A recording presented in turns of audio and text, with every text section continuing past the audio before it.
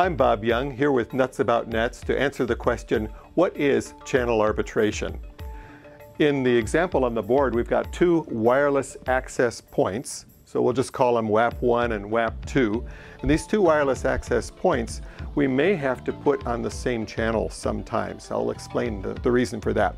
Let's say you have a school with two access points in every classroom in order to be able to accommodate 25, 30 students per class. So now, because of the number of access points in the school, uh, close to each other through the walls and uh, up the floor above and the floor below, we run out of channels, so we can't split the channels all the time. This is where the beauty of channel arbitration comes in.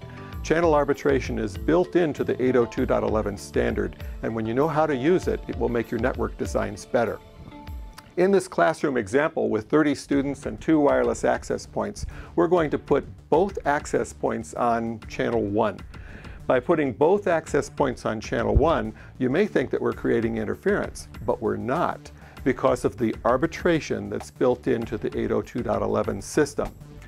When this access point transmits, this access point will be quiet. But we have built into the process intervals where an access point has to go silent.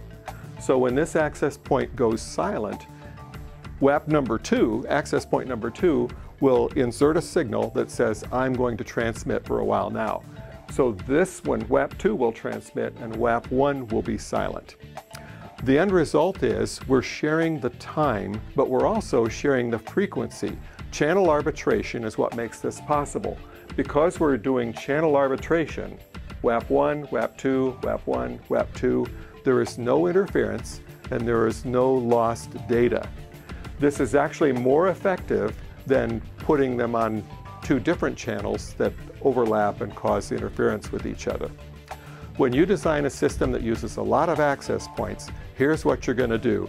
In summary, make sure that the access points that are close together share the same channel so you can take advantage of 802.11 channel arbitration. Thanks so much for watching the video. We've got some other videos with helpful information about specific wireless performance issues. I hope you'll check them out.